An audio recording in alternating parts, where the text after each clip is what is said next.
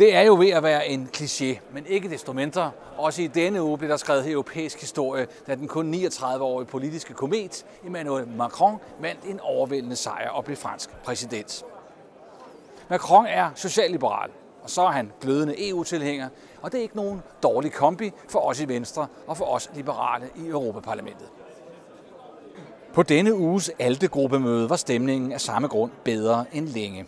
Macron ventes at tilslutte sig også i vores liberale gruppe efter det franske parlamentsvalg i næste måned. Og debatten handlede om, hvor meget man kan tillade sig at juble, når man ved, hvor stor en opgave, der venter den relativt uprøvede franskmand med at reformere sit land.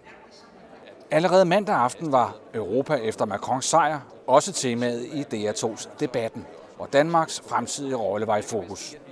Jeg efterlyste i den forbindelse, hvad det egentlig er, yderfløjene til højre og venstre forestiller sig skulle være alternativet til EU.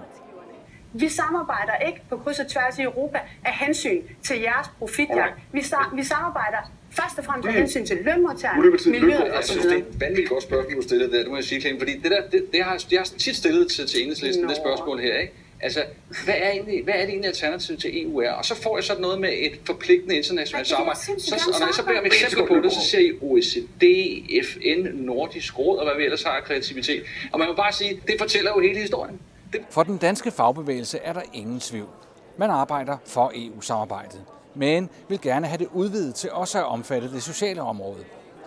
Det var hovedbudskabet ved LO, FTF og Akademikernes sommerreception her i Bruxelles, hvor LO's formand Lisette Riskov står i spidsen for et udvidet europæisk engagement for danske lønmodtagere.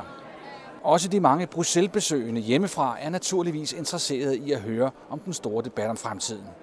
Her er det arbejdsgivere for handelsskoleelever, og her en gruppe lærerstuderende.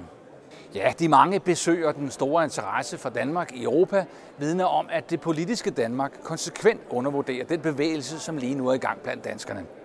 I det år, der er gået siden Brexit, har befolkningen rykket sig på EU-spørgsmålet, og vil at mærke i en retning, som politikere måske ikke har fanget endnu. Men ser man på de tørre tal, som netop er kommet fra Eurobarometer, ja, så er beskeden klar. 7 ud af 10 danskere ønsker Danmark i EU. Det tager jeg som en opmundring til det arbejde, som vi har gang i, nemlig at få en seriøs, men også klar og ærlig samtale i gang med danskerne om Danmarks fremtid i Europa. Ha' nu en god bededagsweekend, og så ses vi i næste uge i Strasbourg.